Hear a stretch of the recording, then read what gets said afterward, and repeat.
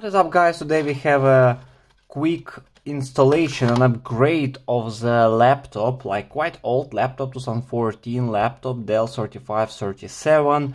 We have a RAM upgrade here, so I've got GOODRAM here assembled in Poland, DDR3 8 gigabytes. So you see here uh, what's characteristic of it, some DMDR 1600 megahertz CL11, so I've got two of them so in total 16 gigabytes of RAM and that's what's actually supported by the chipset of Dell 3537 on Core i7. Currently I've got uh, I've got 8 gigabytes of RAM, so 4 plus 4, and I'm planning to install right now here for 8 plus 8. So in total we have 16 gigabytes of RAM. So let's do it currently. What you need to do is turn off your laptop, of course, and unscrew here. Screw is quite old so need to change to bigger one. As you see here it's already hard to dismantle it but with this one it's much easier.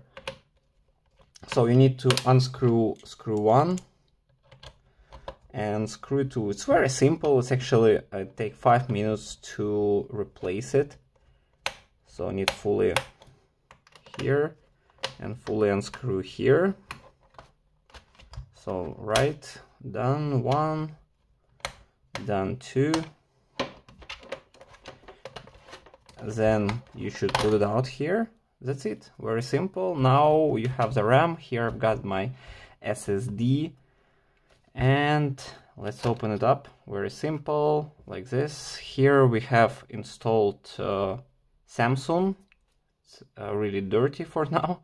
We have Samsung, same characteristic, PC3L. Uh, we've got 4 gigabytes of RAM, DDR3. So one, and unscrew the second one, very simple.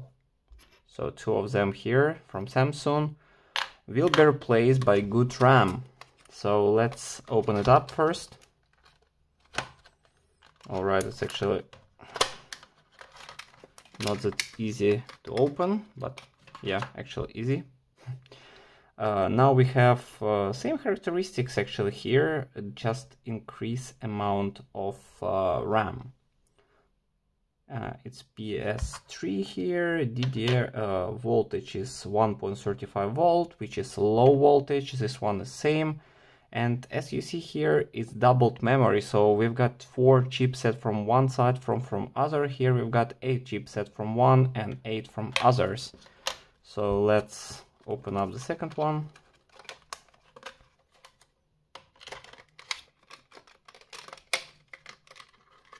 Second one opened even without damaging the box.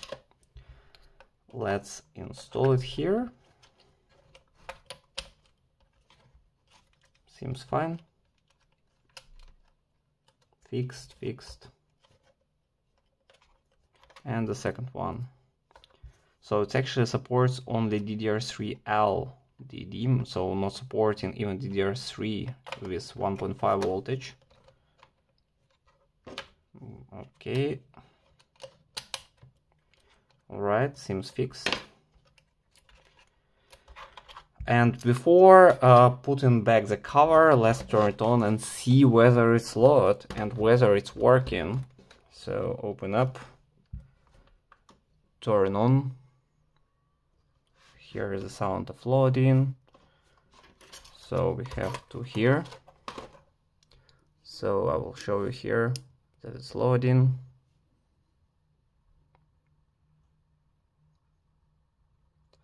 Actually, it takes some time, but with SSD it's faster. So give me a second, I will load it and show you.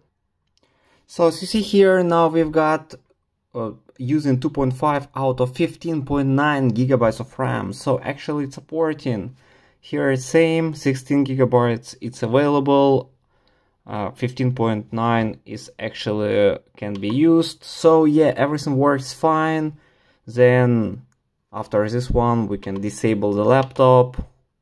Seems nothing happening here. So let's disable it and assemble back. So let me move my camera here to the position. So actually take really fast. up to 5 minutes to do it but you will feel your upgrade especially if you have only 4 gigabytes of RAM so you can do it of you can do it 8 or like I did 16 depends on your processor and your chipset so then you clip it here full you see like this so all the other except those two should be should fit perfectly. Then you can cover it. You can close it again. It also takes really fast. So upgrade takes not much time actually.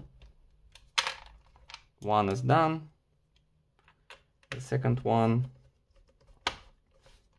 fix here fix here then check is everything fine and basically that's it so it's really easy guidance how to replace your uh, how to replace your RAM memory in around five minutes in case you want some additional settings or some additional questions you have, you can leave it in comments below. I can test it if you want it. And put the thumbs up and see you next time.